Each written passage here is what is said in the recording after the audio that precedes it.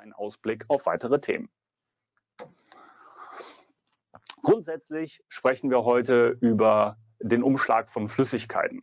Ja, überall da, wo wir Flüssigkeiten aus Tanks in mobile Applikationen, in Tankkesselwaggons oder in Bahnkesselwaggons umpumpen wollen, ob das eine Obenverladung ist oder eine Obenentladung, ob das eine Bodenverladung ist oder eine Bodenentladung.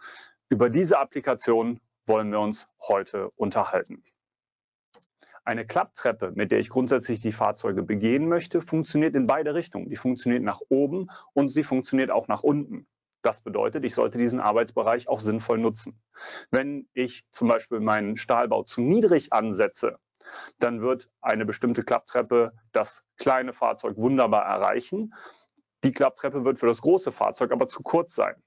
Wähle ich dann eine entsprechend lange Klapptreppe aus, um von dem niedrigen Stahlbau auf das hohe Fahrzeug hochzukommen, dann ist diese Klapptreppe für das kleine Fahrzeug zu lang.